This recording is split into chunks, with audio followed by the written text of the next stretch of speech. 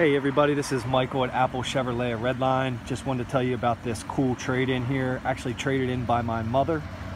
One owner, 2009 Toyota Venza, all-wheel drive.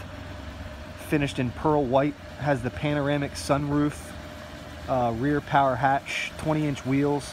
Has good tires the whole way around. Leather and navigation.